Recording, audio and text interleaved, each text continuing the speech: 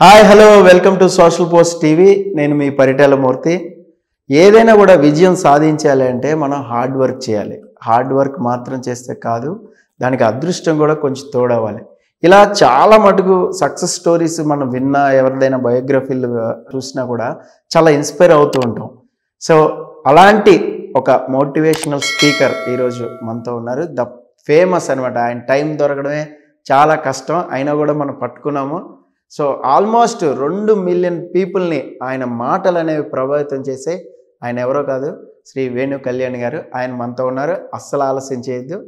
ఆయన పలకరించేద్దాం. Hello sir. నమస్కారం sir. మనం అక్కినేని ఫ్యామిలీని కూడా చూస్తున్నాం. నాగ చైతన్య కానీ అఖిల్ కానీ వాళ్ళు సినిమాలు కూడా ఫ్లాప్ అవుతున్నాయి. వాళ్ళు చాలా డిప్రెషన్లో కూడా ఉన్నారు. ఒక సైడ్ సమంతతో డైవర్స్ అని ఇట్లా సోషల్ మీడియాలో గాసిప్స్ కానీ అవి కానీ వస్తూనే ఉంటారు. అవి కూడా వాళ్ళు బ్రెయిన్కి ఎక్కించుకోకుండా ఒక ఫోకస్డ్గా పని చేసుకుంటూ వెళ్తున్నారు. అంటే ఆ స్ట్రగుల్ నుంచి ఏదైతే ఆ స్ట్రగుల్ ఉందో ఆ స్ట్రగుల్ నుంచి ఓవర్కమ్ అవుతూ వస్తున్నారు.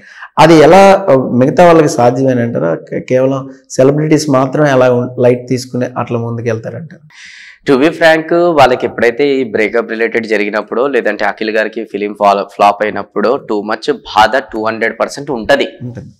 అంటే అది కొద్ది క్షణం అని ఉంటుంది లేదంటే ఒక రోజు అని ఉంటుంది ఒక వారం అన్నా వాళ్ళకు ఉంటుంది. లోపల చాలా భయంకరంగా ఉంటుంది. ఎందుకంటే ఎంతో ఎమోషనల్తోని ప్రే అంటే ఆ పర్సన్తోని ఎమోషనల్తో కనెక్ట్ అయ్యి సడన్గా ఆ పర్సన్ లేరని తెలిస్తే ఎవరికైనా బాధ ఉంటుంది. వాళ్ళు కూడా మనుషులే కదా ఉంటుంది.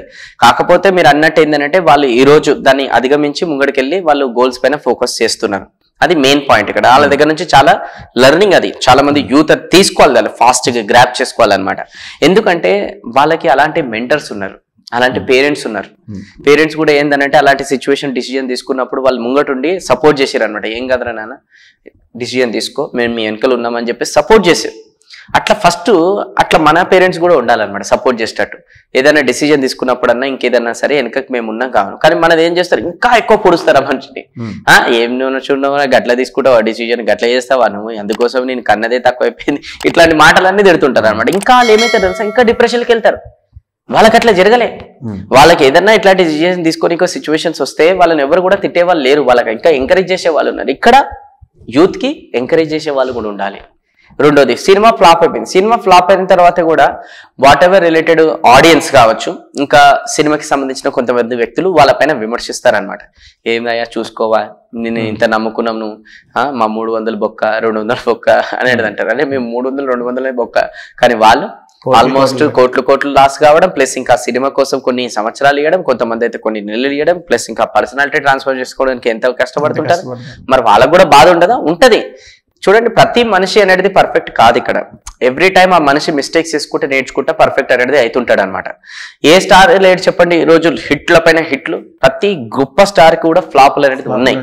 ఆ ఫ్లాపుల ద్వారానే వాళ్ళు ఎలా చేయకూడదు అనేది నేర్చుకొని ఈ రోజు సక్సెస్ అయ్యారు. ఎవరైతే బిజినెస్ పీపుల్ ఉంటారో వాళ్ళు కూడా బిజినెస్లలో ఫెయిల్ అయ్యే ఆ బిజినెస్ ఎలా చేయకూడదో నేర్చుకొని ఈరోజు సక్సెస్ అవుతున్నారు.